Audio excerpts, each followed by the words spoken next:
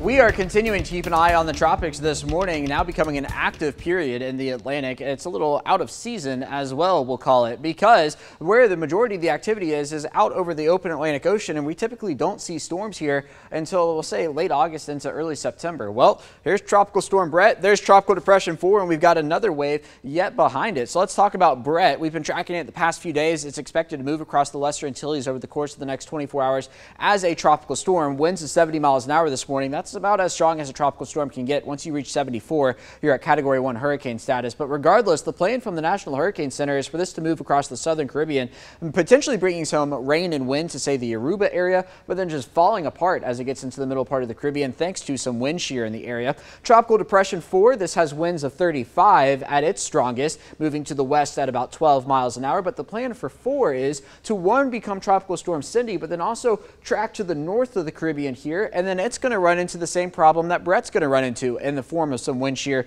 north of the Caribbean there Tuesday at about 2 a.m. weakening down to tropical depression status. So continuing to keep an eye on it all here in the Weather Center. What you need to know is that Bret is going to bring tropical storm conditions to the Lesser Antilles today and tonight, and that's going to weaken into the Caribbean Sea as we work our way into the weekend. And then Cindy expected to form behind Bret shortly. That is what is currently Tropical Depression 4. Of course, we're going to be tracking it all here in the 13 WMAZ Weather Center.